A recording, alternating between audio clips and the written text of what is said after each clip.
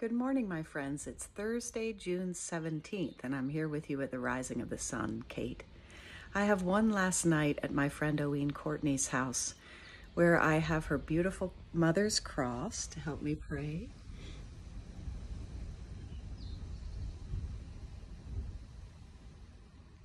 And then a view that is like no other in the morning light.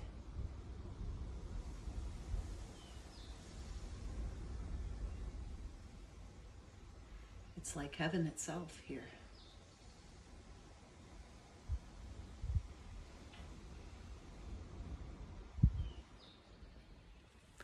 We continue this morning in the first book of Samuel. Eli, the priest in the temple who's raising Samuel, is having a difficult time with his own sons. His sons are misbehaving. They're eating the meat of the sacrifice, they're sleeping with women, they're drinking too much. And God says, that their behavior is going to affect not only their father and themselves, but also their descendants. In a sort of a brutal passage, God says, You are no longer going to live long lives in your family. Your longevity is cut off. What a concept.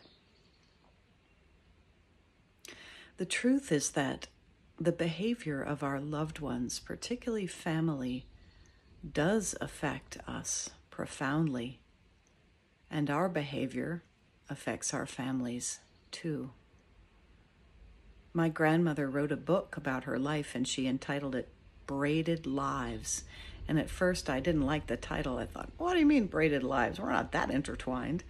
But as I've gotten older, I've realized that, oh, yeah, I guess we are. We really are. Now, that doesn't mean that we can change our loved ones or get codependent or try to fix them. But the reality is that our behavior affects them and their behavior affects us. Families are so intertwined. Loved ones are so intertwined. And salvation often happens in groups. And so Eli suffers because his children misbehave, as any parent would suffer when their children misbehave. And his descendants are no longer priests. Whereas Samuel, who has been faithful and whose mother has been faithful, steps into the role in their place. It's amazing how interconnected we are and so the best thing we can do is to become healthy individuals, believing that our health and wellness and love will affect not only us, but our loved ones. And they'll be inclined to follow. Not because we tried to fix them, but because maybe they saw something in us that they wanted to emulate. Let us pray.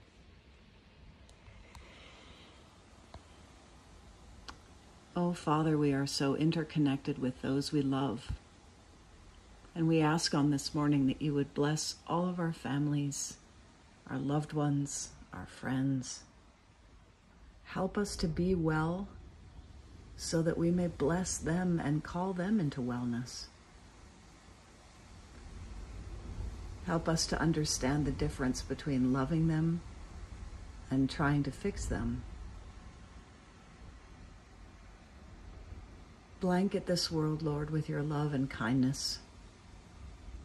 Watch over all those who are sick or suffering, dying or in need, hungry, struggling financially.